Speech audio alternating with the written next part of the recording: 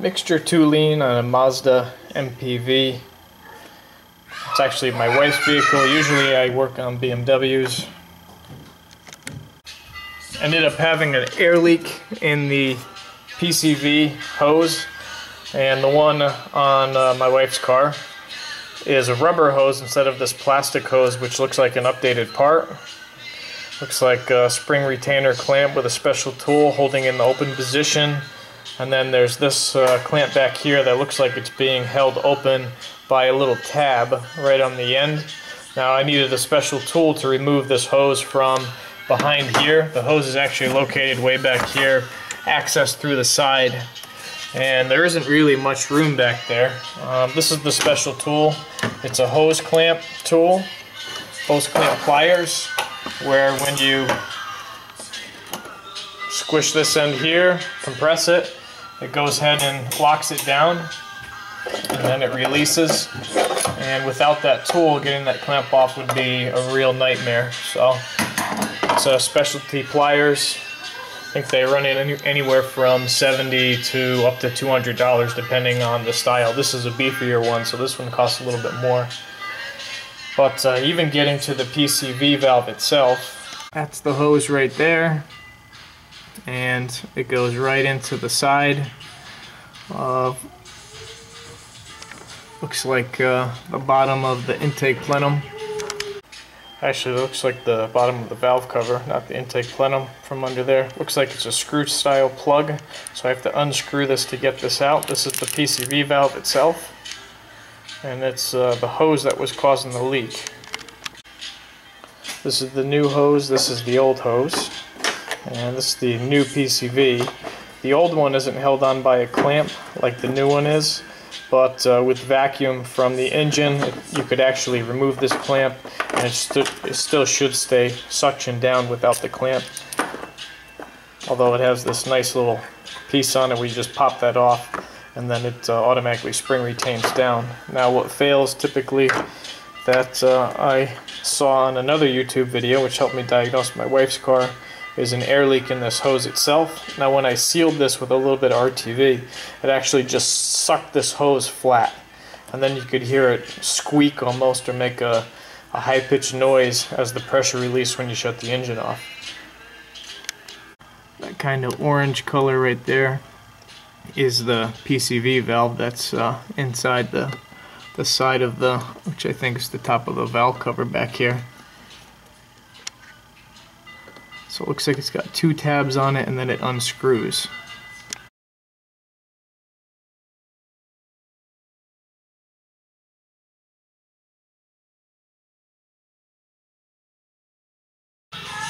Well, I did have to take the intake plenum off and it looks like that valve is located in the valve cover for uh, the far bank see, where'd my light go?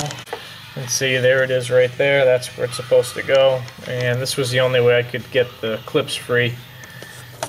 Which, uh, you know, if you take the intake plenum off, gives you access for the coils. First time doing this, so it was a little bit of a fiasco. Alright, is the valve. And it twists and locks in. And that's it. There's the new PCV valve. There it goes. Now it's locked in. Alright. This intake plenum. I'm just to wipe all the stuff off. All the leftover oil. Clean this up. I'm to reuse the gaskets.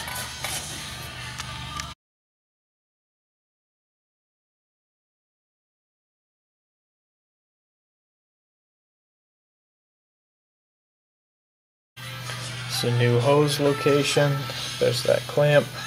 That's going to attach right there onto the PCV valve.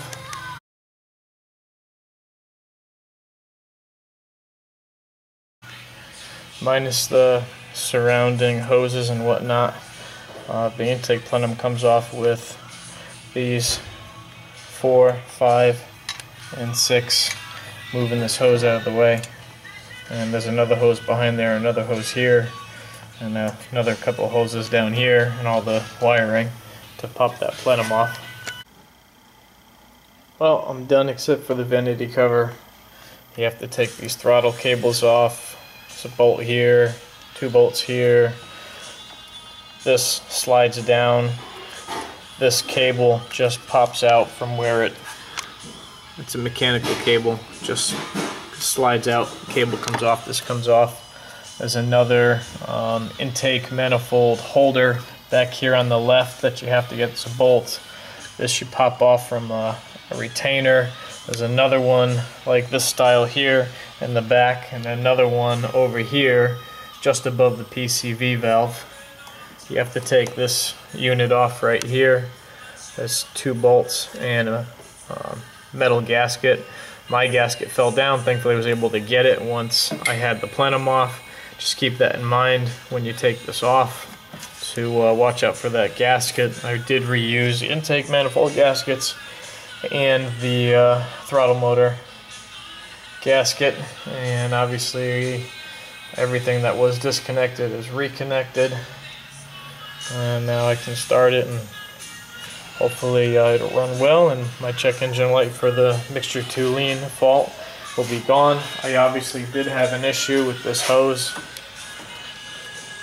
You can see that crack. I probably could have got away with just this hose, but I didn't like the way that uh, engine vacuum was sucking this hose down completely flat and made me think of that bad PCV valve and I know on BMWs you can have oil consumption from a bad PCV valve and uh, you can also have uh, hydrolock of uh, engine oil get sucked right up into the engine and you have a engine hydrolock.